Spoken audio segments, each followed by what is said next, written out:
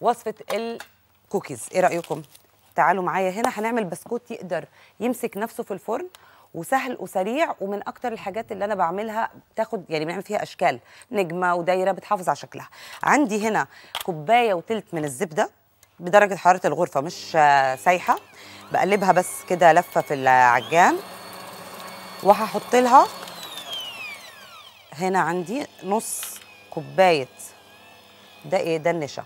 عندي آه تلتين كوباية سكر بودرة. اذا كوباية وتلت زبدة حطيت عليهم تلتين كوباية سكر بودرة بس هغطي عشان إيه ما تنطورش.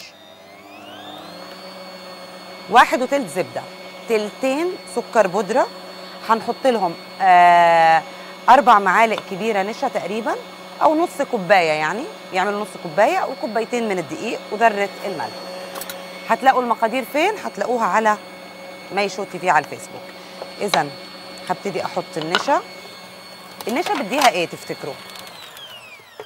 ليه بنضيف النشا مع الدقيق؟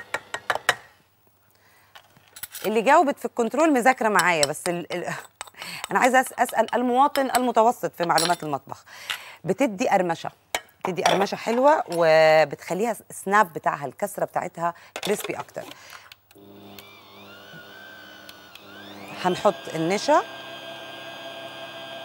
عايزه أعلي السرعة عشان الزبدة تبتدي. أيوه هو ده اللي أنا خايفة منه.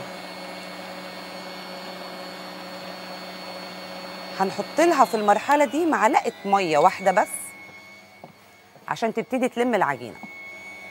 معلقة واحدة فقط لا غير. بصوا هتساعدها إنها تبتدي تتشكل على شكل كورة. أيوه. ودلوقتي هضيف كوبايتين الدقيق. إذا مقاديرنا كوبايتين دقيق نص كوباية نشا. تلتين سكر بودرة واحد وتلت من الزبدة بدرجة حرارة الغرفة وهنحط لهم ذرة الملح. دي المقادير فقط لا غير بتبقى موجودة فين؟ نزلوا لنا control آه الصفحة. okay. وقتنا قد إيه؟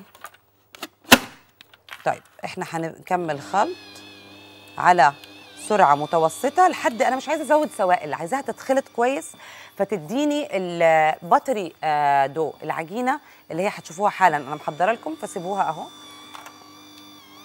مش عايزة أعلي السرعة قوي فالدقيق يتنطور العجينة بعدين تطلع معانا بالشكل ده. شايفين؟ عجينة الزبدة دايما تبقى كده بتفرفت. عشان كده هنجيب الصينية اللي هنخبز عليها مباشرة. أين الصينية؟ أنا هستخدم دي اللي عليها ال lollipop لا محتاجة واحدة أفرد عليها. تبقى مسطحة ملهاش أطراف. فباخد العجينة وبديها شوية من حرارة إيدي. الحرارة دي بترجع الزبدة طرية. وكده كده لما آجي أفرد عجينة الزبدة بفردها يفضل بنشابه رخام. بتحافظ على ال- الزبدة أكتر. أنا هعمل إيه؟ هوريكم حالا. عندي عصايات خشب بتوع الشوي أي حاجة. هوريكم example على واحدة. فردناها سمك مش كتير مش كبير ولا رفيع. هاخد ال cutter استخدم النهارده حجم البصامه اللي بنبصم فيها كح الكحك. هستخدمها من الناحية التانية. عملنا double أهو use فهاخدها أهي. دي بتاعت الكحك. هاخدها من هنا وأعمل كده. تمام؟ وهشيل وهاخد دي الصغيرة. أهو آخد فيها اتنين تانيين. هاخد الاتنين دول. العجينة دي لما تعملوا فيها الأشكال بتقوموا شايلين باقي العجينة وفردينها تاني يعني تفردوها كلها مثلا. وعملتوها قلوب عملتوها نجوم. ما تحركوش العجينة. الشكل حركوا العجينة اللي حواليها. هي زي الصلصال. تمام؟ شلنا العجينة دي. طبعا نعمل كمية أكبر إحنا بس أنا بوريكم دلوقتي. هناخد الخشب. السك الخشب ده ونحطه هنا كده. نغرزه هنا. طب هيفك. لا أنا عايزة أغرزه كده عشان مكان بصوا عشان أسيب مكان فوق ومكان تحت. المسافة من فوق ومن تحت بخليها تقريبا متساوية. هقوم عاملة كده ومثبتاها بالقطعة التانية دي اللي فوق. لما تدخل الفرن هتسيح وتلزق عليها. فكرة بسيطة جدا جدا جدا. آه ابتكرناها النهارده الصبح. دايما في حلول ودايما في أفكار علشان ندي الولاد كوكيز تبقى بتشدهم أكتر من الكحك. ما بيحبوش هم قوي الكحك والبتفور والحاجات دي بيحبوا الحاجات اللي عليها عادية.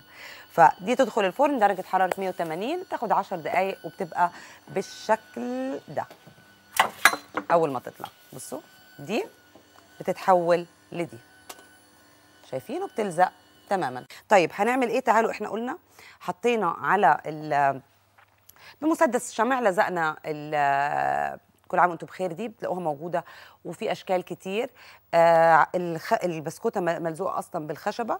هناخد الخمسة جنيه فليكن ونعملها زي المروحة. خلوني بس أجيب ال- خلي جنبي.